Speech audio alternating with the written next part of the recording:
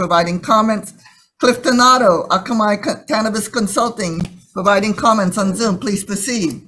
Good morning, chairs, vice chairs, members of the committees, Dr. Clifton Otto. I'd like to add a few brief remarks to my written testimony providing comments. First, I'd like to highlight the recent scheduling recommendation from the U.S. Department of Health and Human Services.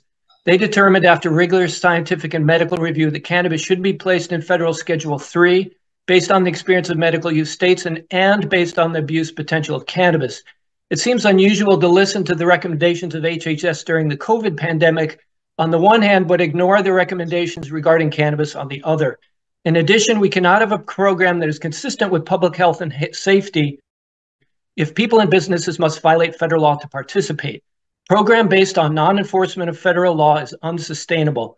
My written testimony is based on waiting for Congress to remove cannabis from the Federal Controlled Substances Act entirely before moving ahead with adult use in Hawaii, and in the meantime, fixing and expanding our medical program that meets the needs of our patients. Thank you, and I'll try to be available for questions. Okay, thank you very much.